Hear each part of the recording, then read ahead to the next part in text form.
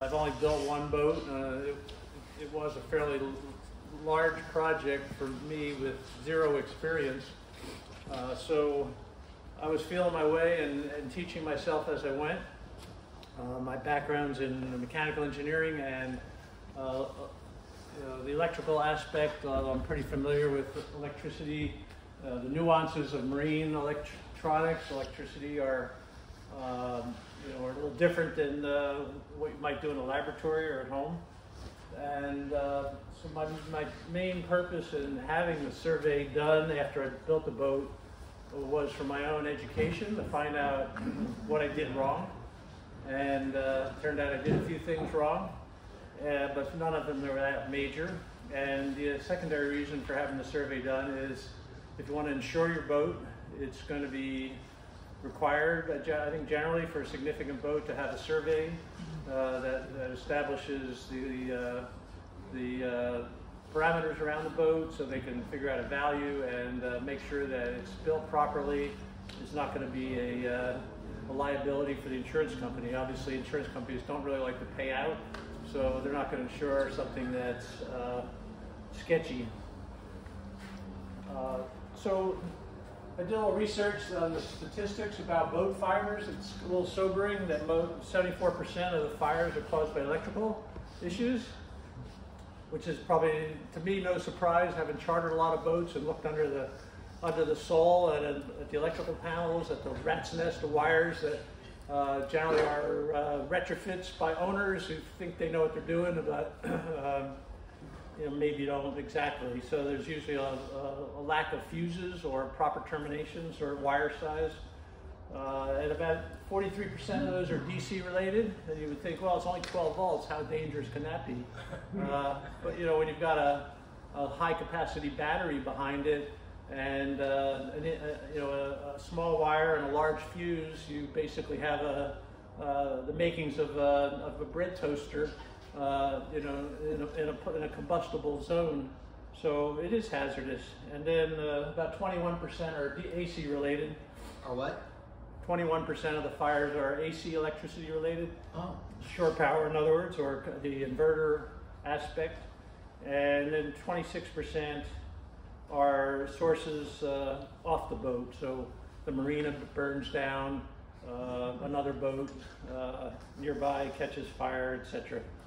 So uh, it's food for thought. Uh, so just to give you some background on what I call the subject boat. It's uh, it's called a it's called the Zakkendragen. It's uh, it's a 21 foot Redwing pilot house type. Uh, they also do a smaller version that's open, but this has because of our weather in this area wanted something that was a little more comfortable and, and useful for year round. So it's got AC and DC electrical. It's got two circuit board, uh, circuit breaker panels. It's got one fuse panel, so if you want to run your bilge pumps or uh, in my case a heater, it has to be on a 24/7 panel. It, it's not it's not turned off when you turn off your main power. There's not much point having a bilge pump if you don't have electricity to it when you're not on the boat. Uh, so three panels, and then it's got a battery charger. Uh, if I'm connected to shore power, which is I'm not normally unless I'm cruising, it's got one lead acid battery. It's got an outboard motor, just 20 horsepower with an alternator. Uh, it's got uh, inter interior and navigation lights, VHF uh, radio. It's got a few instruments.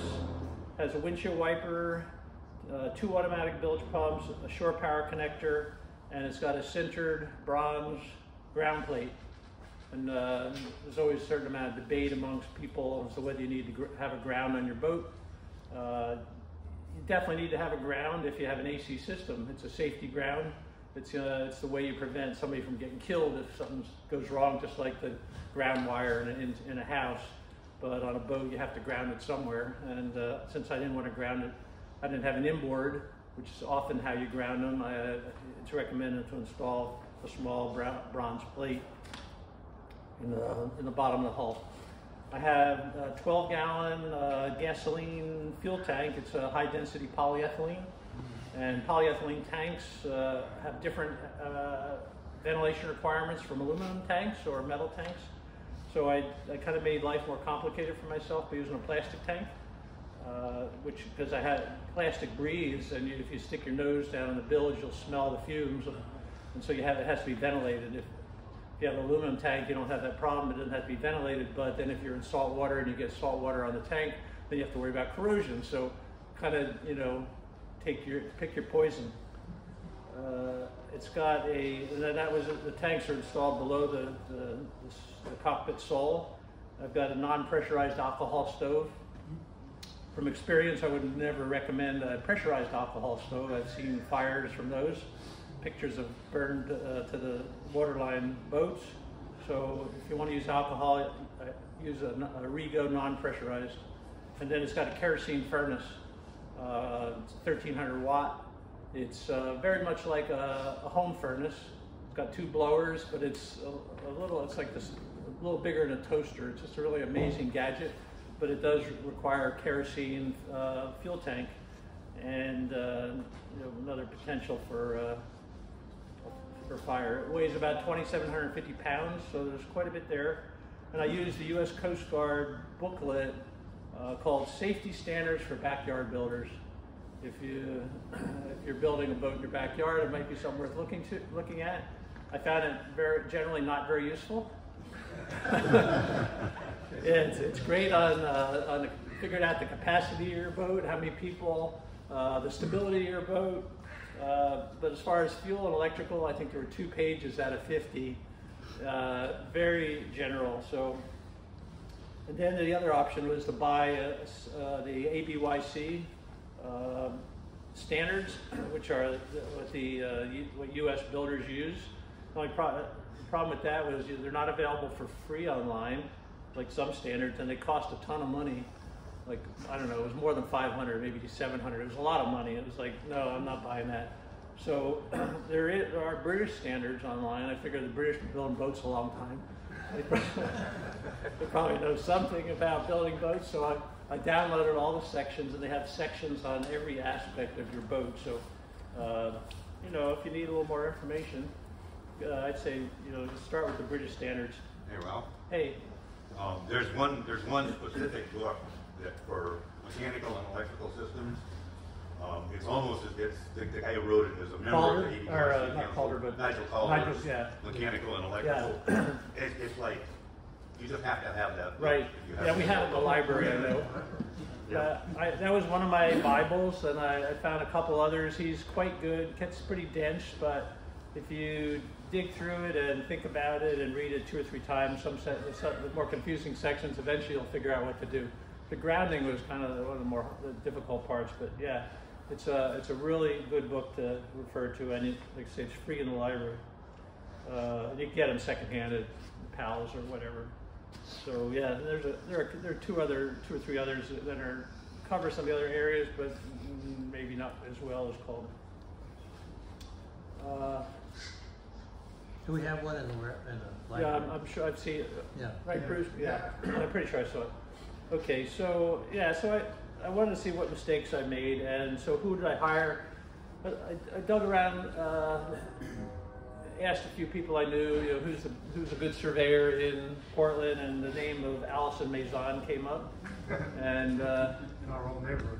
yeah, yeah, um, and she was really good, I thought. Um, she's not, I would say she's probably a non-commercial surveyor. She tends to do, you know, smaller boats.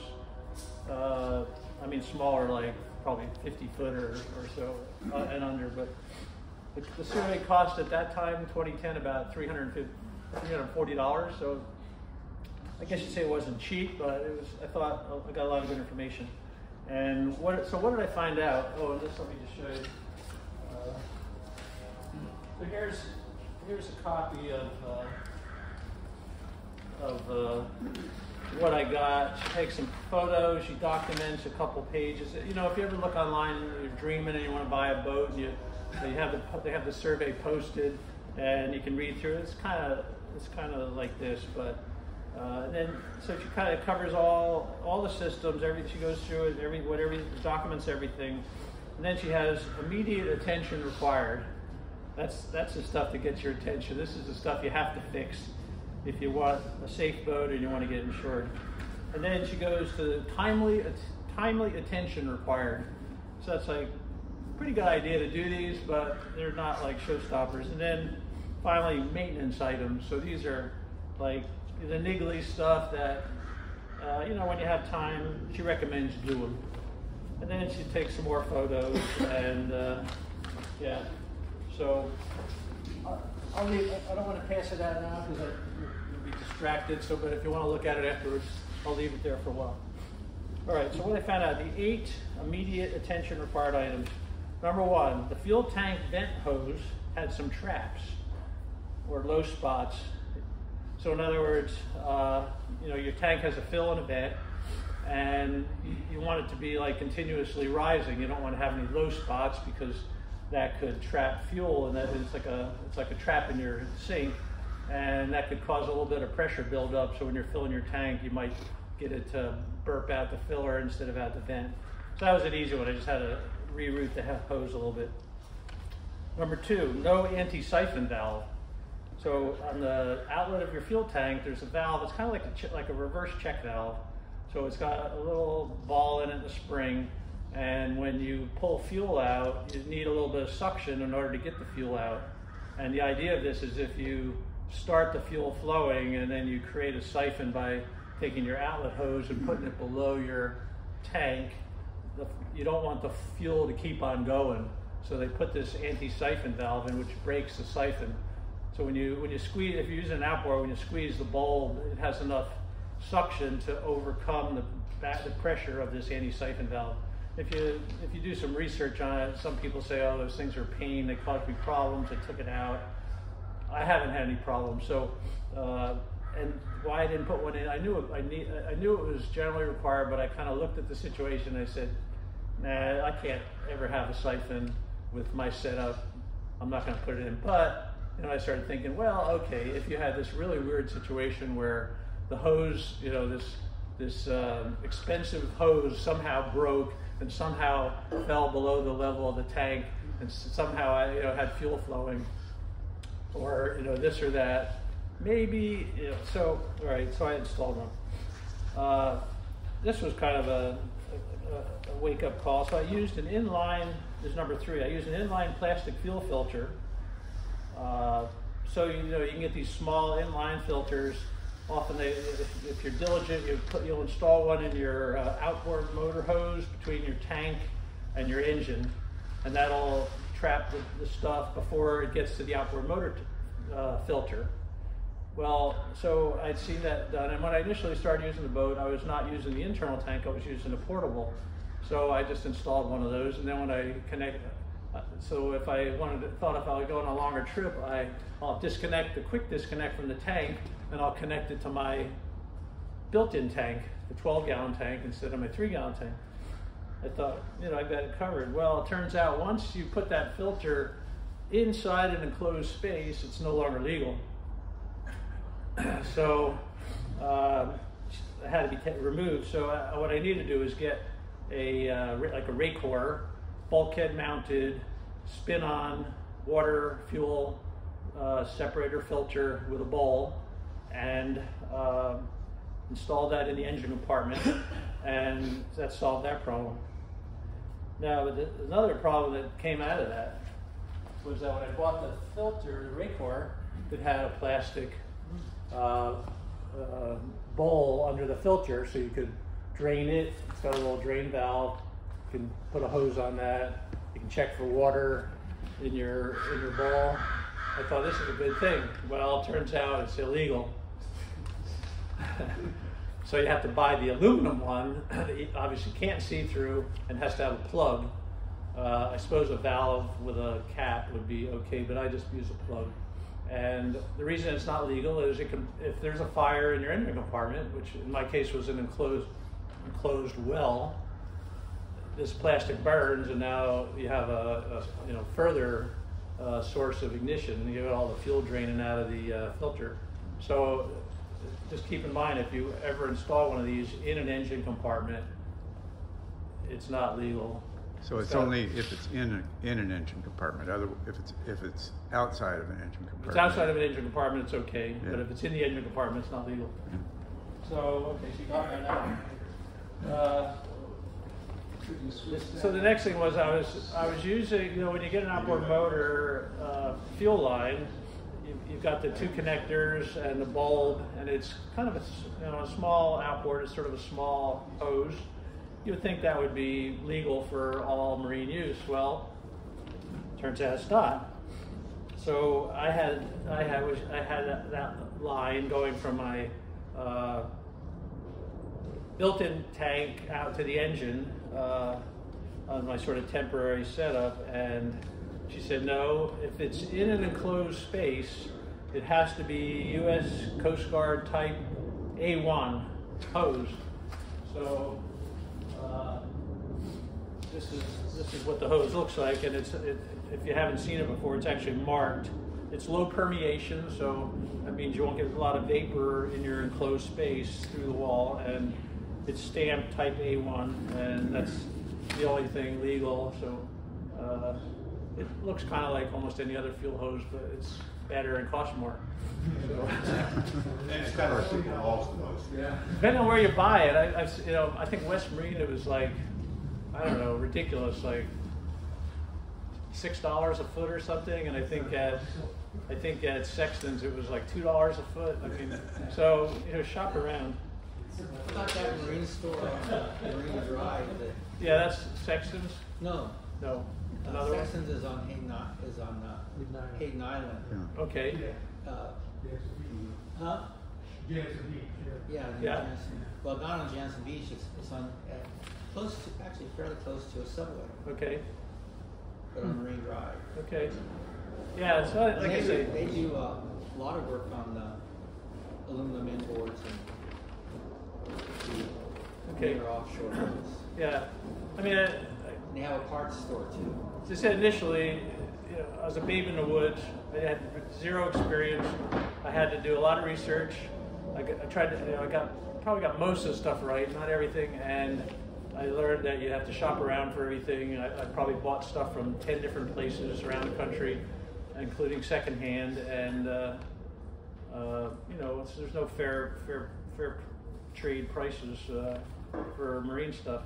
Okay, number five, I, uh, I had a quick disconnect. So on the end of my outboard motor hose, I had a quick disconnect, which connected to my tank, uh, my built-in tank, and that was originally because I wanted the option to be able to either use a portable tank or, well, it turns out it's, if it's permanent, then it's going to be permanent. So I had to replace the quick disconnect with a with a pipe thread to barb fitting and uh, and put a hose clamp on it. So that's kind of the end. Of, so that's that's all my fuel stuff. You know, fairly minor stuff. Took me a pretty short time to fix all that. So then the next thing was electrical. I had so coming out of the battery, I had a, a large wire that went from the battery to the engine, and that was for starting the engine and for bringing the current from the alternator back into the battery. And then there's some small wires that went to my electrical panel. So I had a fuse on the small wires, but I did not have a fuse on the big wire. Well, you think about it, like really should have been a fuse there. And there's no fuse inside the outboard motor. They, they don't, they don't give you that. So, uh, so I was looking around for hardware, like how am I going to do this easily? Turns out there's this really little gadget made by uh, Blue Sea Marine, or at least they handle. It's actually made by Eaton. You it, it bolts. It, it uh, goes through a stud on your battery with a you put a nut nut on it, and then it's got these um, fuses that uh, s- slip over the stud. And this was a this is a 75 amp, but you can get it. They can get them in I think from 10 amps up, and you just put that on, and then you connect. And then I connected my big wire from my uh, the heavy wire from my outboard onto this, and now I was legal. So um, easy way to fix a problem like that and, and be safe. So, that. Uh, yeah, and you're, you're supposed to have a, a, either you're supposed to have a fuse within seven inches of the source of power. So let's keep in mind seven inches. That's that's what's required by Coast Guard. So a does not require, ABYC does not require a fuse between the battery and the motor, but they strongly recommend it, Okay. But it's not a requirement. And I'm putting, I'm putting circuit breakers in, Okay. and they're two and a half times my max current. just because I think it's stupid not to have it. Yeah. Yeah, in my case, the, the break, all my breakers and fuses are in the, in the controls, which is about, uh, twelve feet or so from my battery. Battery's backed by the engine. So, uh, you know, and you've got all that wire and you really don't want to have, I have fuse, I have a, a main fuse, uh, before I gotta go into my circuit breaker panel on the DC. But I didn't have, you know, I, I knew if I wanted to comply with the recommendation, then I should have a fuse next to the battery as well. But also, this was after the survey, I added a solar panel to maintain my battery. It's only five watts. But you- again, you, you need a, you need a fuse and that's where it connects to your battery as well. So I just put one of those inline fuses, uh, waterproof type. It's interesting that they specify distance from the battery because, I mean, really all you need is a fuse anywhere in the line. Well, it, it should be, no, uh, it- if you want to protect against the possibility of a, of a fire, you want to be as close as you can to the source. Because if you put the fuse at the end and, Well- and, and there's a break, a short somewhere between the fuse and the, and the source, all that wire is going to carry the, the maximum current. So So the it's, worst, the worst case scenario is that, that, that big wire, um, falls out of its, um, crimp terminal and lands in the village, or lands on something that conducts electricity like the engine block. Um, then it, then it's shorted, that's why the, the seven inch requirement. yeah, Which is not, um, it also says if practicable. yeah. Which means that I've got like a foot and a half because I just couldn't find any way to practically do that. Uh, without, um, the other thing that, um, you'll discover if you go to a bigger boat, every single device you buy says connect this directly to the battery. So what you would wind up with is, you know, twenty wires going directly to the positive terminal with fuses within that, that distance. It's totally impractical, and practicality does rule.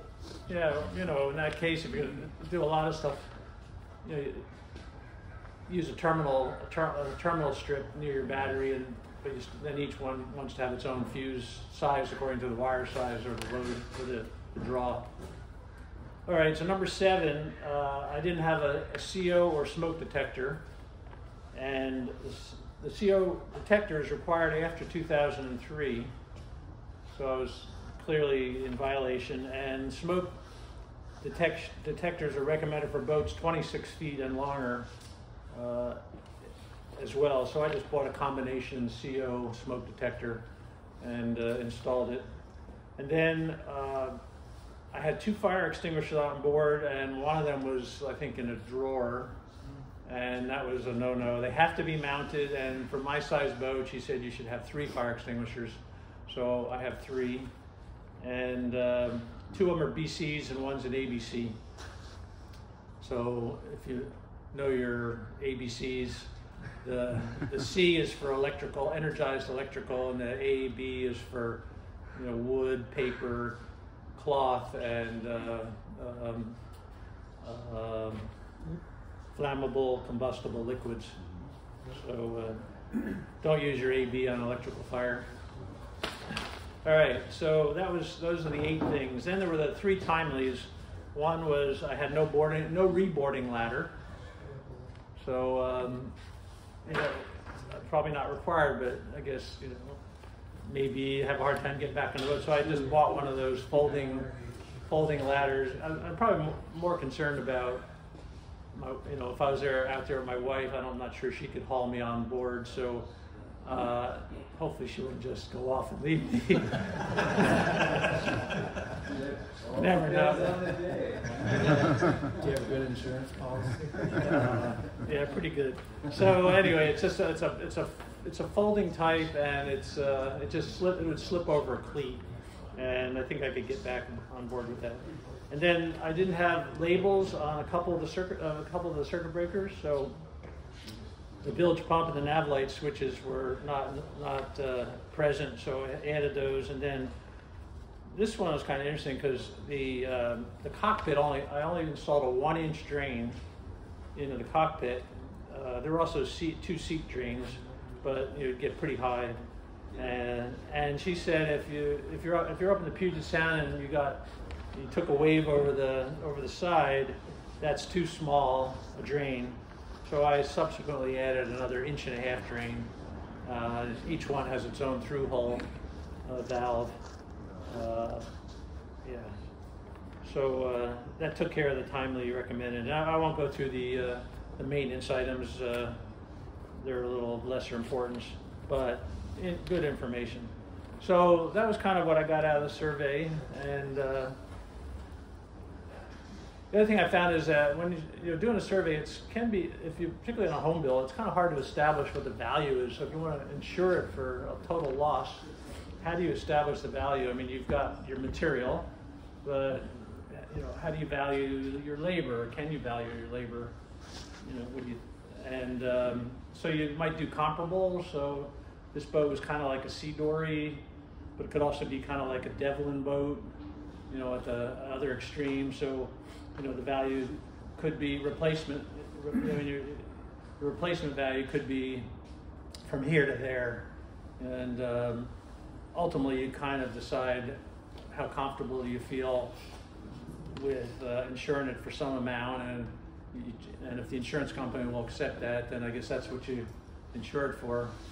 Uh, so, but I think the insured value, you know, I'd probably go for about twice what the material cost was if I could, if I could do it.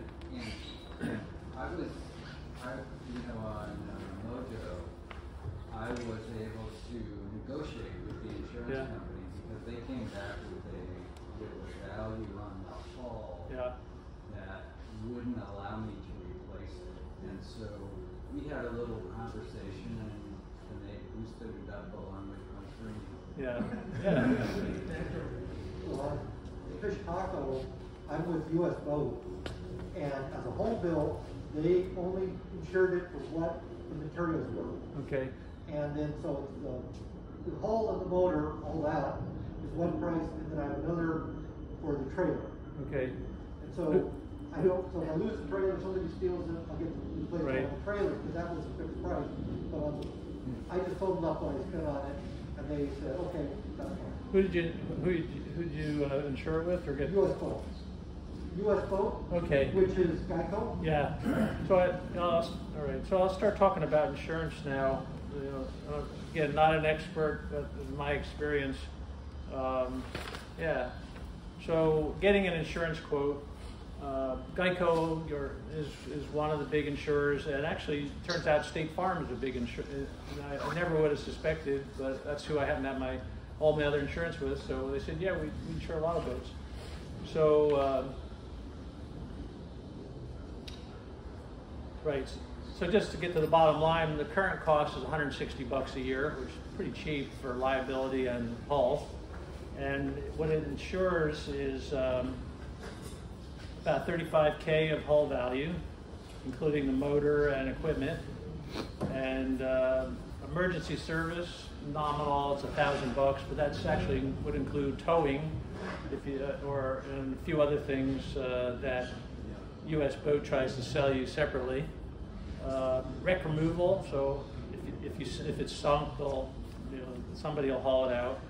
The big items are the liability, watercraft liability for half a million bucks. So that that pretty much covers all the damage you can do.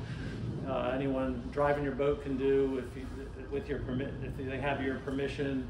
If someone's injured on your boat uh, and sues you, uh, any you know it's you know, ev- so it's, it's pretty broad. Legal defense all that. And then uh, a very small amount on on uh, basically emergency room visit for medical about $5000 per person which would be pretty minor.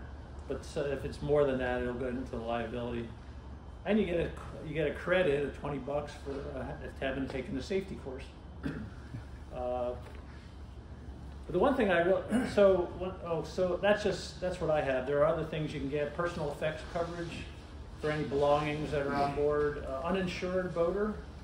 So after you know after 12 years of experience on the water, I was starting to think, you know, I ought to look into uninsured boater because you don't have to have insurance to have a boat out there.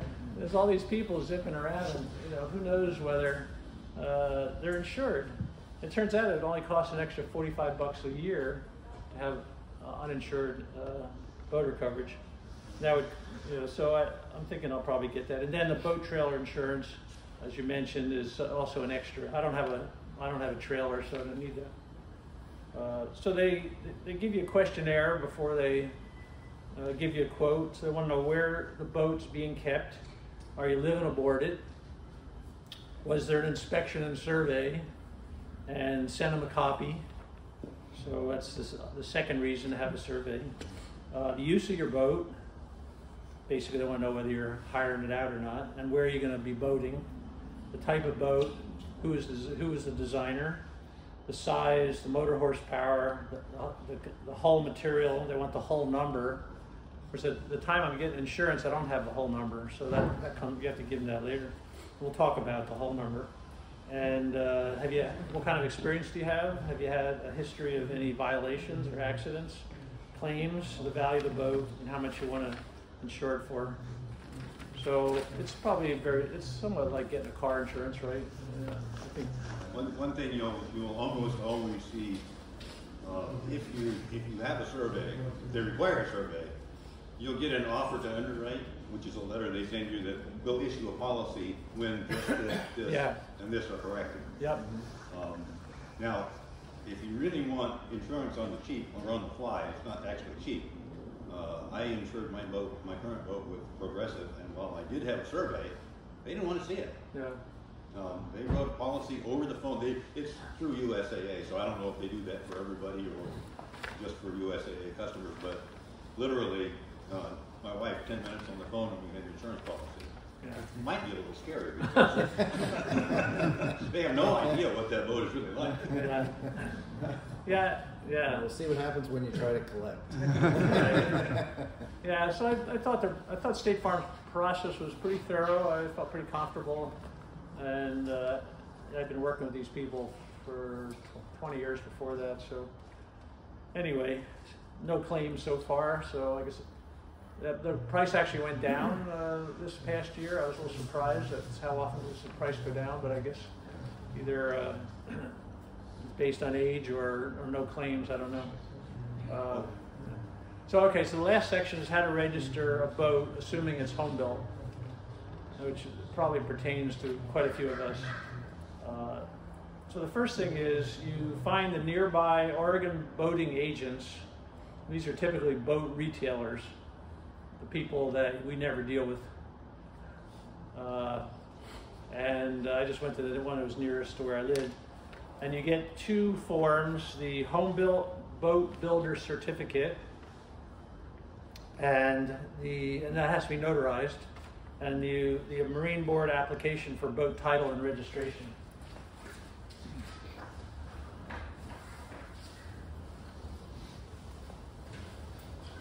so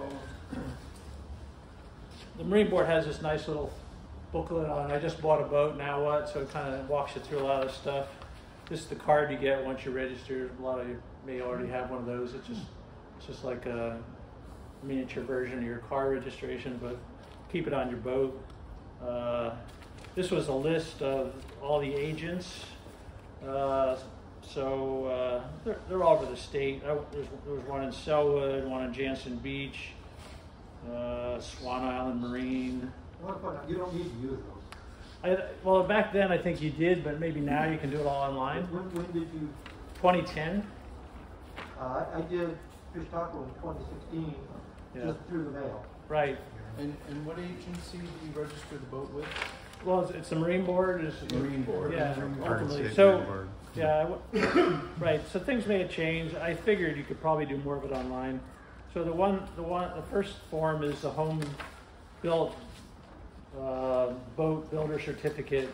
It's pretty straightforward. It's basically one page. The back is uh, to tell you how much you owe them, and the front page is uh, describes the boat, where the materials came from, and your signature and the notary. So, and then the second one is the application for title. The usual stuff, your name, address, uh, how much you owe them, and what it's made out of. You send that in, and uh, uh, I think this was the form that the, uh, the boat, uh, the, the retail agency gave me that the, got sent along. And so you send that, and then you, not too long after that, you'll get something from the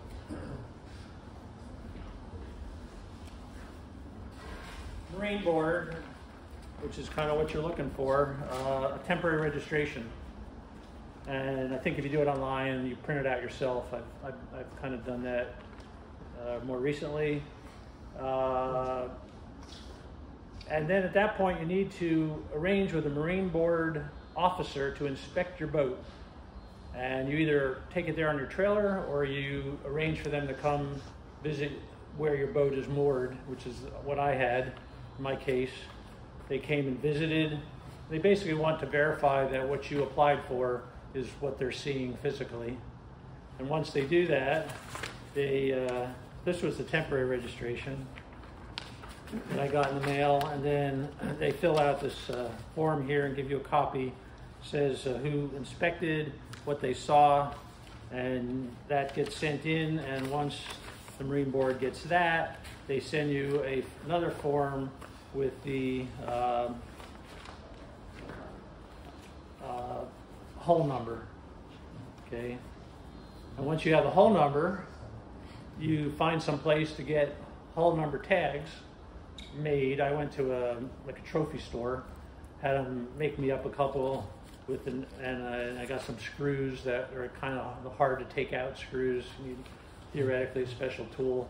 You install one on the starboard side of the transom and another one somewhere they say hidden. Uh, and I installed it inside the cabin.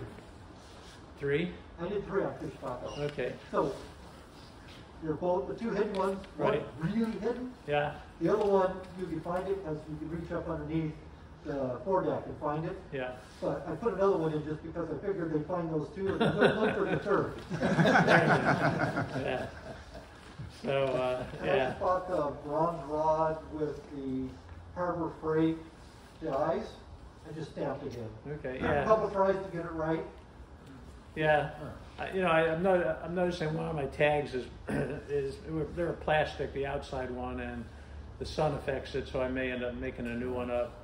Uh, but uh, anyway, uh, at least two, and then uh, you put then you get you get your registration numbers and uh, the year sticker. You put that on, and you renew every two years. So that's kind of but the, Marine Board uh, website's pretty good. I would, I'd say go there first and probably figure it out from there. So the last question is what boats need to be registered? You must title and register your boat if it has any kind of motor, any type of motor. So electric, gas, diesel, steam, whatever. It's got a it's got a motor. It's got to be registered. Uh, and if it's a, and if it doesn't have a motor, but it's a sailboat, and it's at least 12 feet or more, then it has to be registered. Okay, 12 feet more. Exceptions, if it's not motorized, and um, or if it's registered in another state and it spends less than 60 days in Oregon. Obviously you have to register in the other state, but not in Oregon. However, I didn't know this, and uh, it, probably maybe a lot of you do. Talking to Russ, he knew about it. If it's non-motorized, 10 feet and longer, you have to have a waterway access permit. Seven dollars a week, or 17 bucks a year. You get it from the Oregon Fish and Wildlife, and if you don't have it and they stop you, it's a $115 fine. Okay. Is this in addition to registration in another state? What- Say it again. Yeah. Yes. Yeah, the water tax. Is that, is that, is that what they're calling the, is that what they used to call the invasive species permit? Exactly. Is It's, it's to control invasive species. Okay. That's what that's all. What's the length on that now? That's 10 10 feet feet, and longer. and 10 feet and longer. But isn't isn't that like just you count the fishing license for all you have to do is have one on your possession, that it can transfer from boat to boat? As long as the Uh, operator I think has that might be the true. seventeen dollar one does. Yeah. Yeah. But it comes with the boat that's registered. So if your boat's registered, you just Yeah. have to show them your Right, registration. right. So, But if you have a, if you have a kayak, Yeah, carry your, fifteen foot kayak, you have to carry one along with you. yes. Yeah. Yeah, You'll see a lot of people don't register the boat for electric boats, because they feel they're covered and they don't need to. So in Washington, it's not required. If you, now, if you, if you're on navigable waters of the US, so like any salt water anywhere, anything that gets to the ocean basically, uh, then anything with a motor of any kind has to be registered. But if you're only on lakes and streams in Washington that are non-navigable, and you have, I think it's less than ten horsepower, um, you, it's not required to be registered. That's why they came out with a nine-nine motor. Exactly. That's all I have. Uh, any easy questions? I'll try to answer. Well, there's, No, there's but one, they- one, they cargo. magic word for um, surveys. I, I. Allison is absolutely the best surveyor I have ever encountered, and I've paid for about a dozen surveys at least. Yeah. Um, I paid for one in San Diego, which cost me two hundred and seventy-five dollars. I said the magic words, insurance survey, and that man did not stop walking while he was on board. I mean, he, he, he looked at the boat, he said, yeah, it seems to be pretty sound. But that was, um, you know, compared to a seven hundred or eight hundred dollar survey for, for a thirty-six foot sailboat, uh, from Allison, um, I was just changing insurance companies and, and it was, you know, but he knew it was an insurance survey. If it had been a pre-purchase survey, I would have been very disappointed in that, in the quality of work. Yeah, that's that's an interesting point. That when you see, someone says, "I, I, I was re- the boat. I'm, I want to buy this boat. It was recently surveyed." It's like, yeah, this probably wasn't the survey you want No. if you're going to buy it because it's not going to be thorough enough. It's just, so yeah, you get, Yeah, when I bought my Grand Banks, uh, Sam Burko said, no, no, we don't want Allison, we don't want Allison. And the guy didn't find so many things, so I ended up selling it a year later because there was so many things wrong with it Yeah. that he missed. yep. Now, if I had her, she would have found them, I would have not have bought that Grand Banks, I would have bought the more expensive one, Right. and I would have been happy to pay her, the- I can't remember, it was like fifteen hundred dollars, twelve hundred dollars, I would have been happy to pay it not to buy that boat. It would have saved me money. Good point. Yeah, Rep, Ralph, the only question I have is, can I get a, can I get a copy of your notes? Yeah. If you're, if you're selling a boat, you don't want Allison. If you're buying a boat, you do. Yes. Well,